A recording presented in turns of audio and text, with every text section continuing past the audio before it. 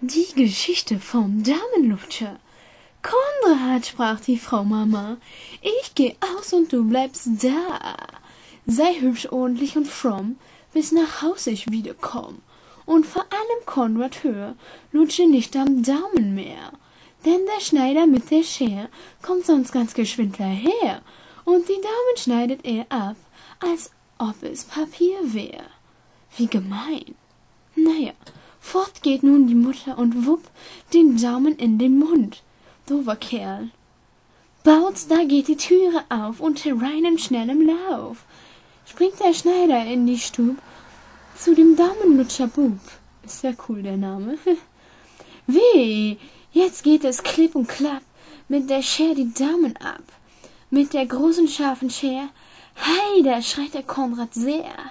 Als die Mutter kommt nach Haus, sieht der Konrad traurig aus. Ohne Daumen steht er dort. Die sind alle beide fort. Oh Mann, wie gemein. Oh Mann, wie gemein. Und um ihn herum einfach nur Blut.